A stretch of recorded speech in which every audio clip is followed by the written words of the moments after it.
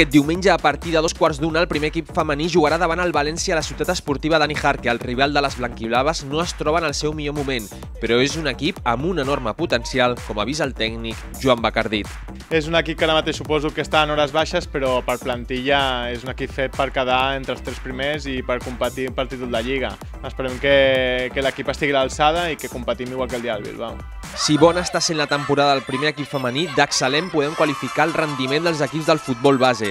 Els dos infantils i l'Alavia han guanyat les seves lligues i confirmen la bona feina que s'està fent al planter, com recorda el coordinador del femení, Lauren Florido. La veritat que molt, molt, molt content perquè els tres equips no només eh, han quedat campions, sinó que si guanyen aquesta última jornada es quedaran invictes. O sigui, seran eh, tres lligues sense perdre un partit. S'està fent una, una gran feina per part de, dels, dels entrenadors, el grup està responent molt i molt bé, tot, tots els grups que, estan, que, que han guanyat la Lliga, i a veure si puguem aconseguir dos més.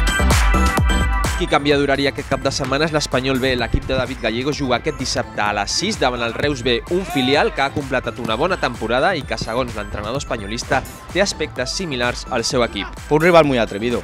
Es un filial con jugadores habilidosos, rápidos, potentes, con un nivel técnico muy bueno, en el que intentan generar juego desde atrás y espero que, sea una buena toque para nosotros también, porque sí que es un rival que con balón te puede hacer daño. Pues bueno, vamos a ver cómo podemos minimizar eso. Ese es el trabajo de esta semana. No podíem acomiadar-nos de la factoria sense parlar del juvenil A, que va acabar la Lliga amb victòria davant l'Adam. Luis Blanco, el míster de l'equip, fa aquest balanç de la temporada.